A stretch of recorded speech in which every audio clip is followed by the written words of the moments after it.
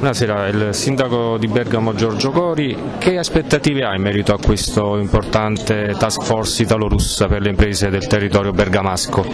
Ma diciamo basta un numero di 144 imprese italiane che partecipano a questo incontro, che sono molte, 50 sono bergamasche, questo per dire quanto sia centrale il sistema delle nostre imprese, soprattutto della manifattura eh, rispetto alla, alle prospettive di collaborazione economica che si legano a questo incontro. Siamo anche in una fase, mi sembra un po' più favorevole rispetto a qualche mese fa,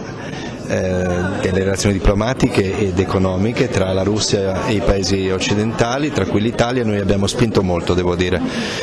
per eh, tenere vivo il, il, rapporto e per eh, accentuare da qui in avanti le possibilità di collaborazione. Del resto siamo tra i primissimi paesi tanto in termini di eh, acquisto che di vendita rispetto alla federazione russa e quindi abbiamo proprio un, for un forte interesse. In più c'è una dimensione culturale che non molti conoscono che lega Bergamo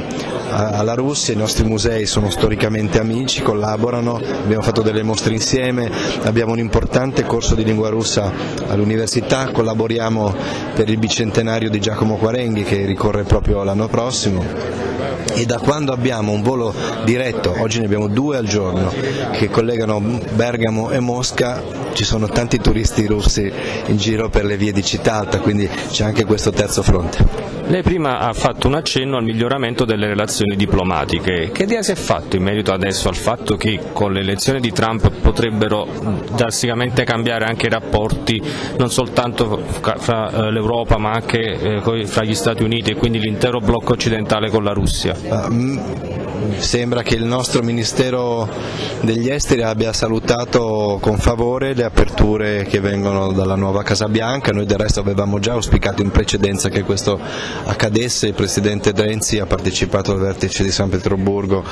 esplicitando questo auspicio, quindi se, se sono rose fioriranno e noi ne saremo i primi a gioire.